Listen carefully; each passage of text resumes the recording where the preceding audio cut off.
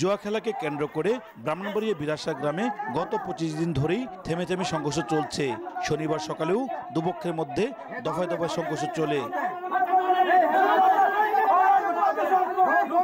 বেশ কয়েকটি বাড়িঘর ভাঙচুর এবং অগ্নিসংযোগ করা হয়। লুটপাটের অভিযোগও করেন অনেকেই। এই ঘটনায় তেইশ জনকে আটক করে পুলিশ। স্থানীয়রা জানান জুয়া খেলাকে কেন্দ্র করে গত পাঁচ মার্চ বিরাশা গ্রামে বড় গোষ্ঠী এবং মহাজুট গোষ্ঠীর মধ্যে সংঘর্ষ হয়। এক পর্যায়ে পুরো গ্রামে বিচ্ছিন্নভাবে বিবাদমান কয়েকটি গোষ্ঠীর মধ্যে এই সংঘর্ষ ছড়িয়ে পড়ে। প্রায় এক মাস ধরে চলা এই সংঘর্ষের ঘটনায় চারটি মামলা হয়েছে। বিপক্ষের দলরা আক্রমণ করছে বাংলা বাড়ি ফুইরা আমরা কইলে আমরা ফার মারতো আমরা গাই মারতো।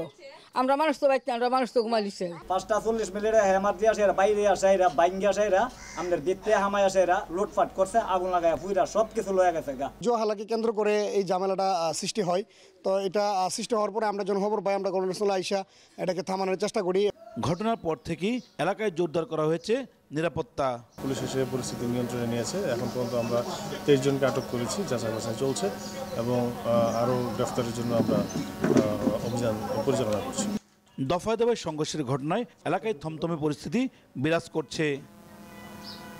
উজ্জ্বল চক্রবর্তী, সময় সংবাদ, ব্রাহ্মণবাড়িয়া।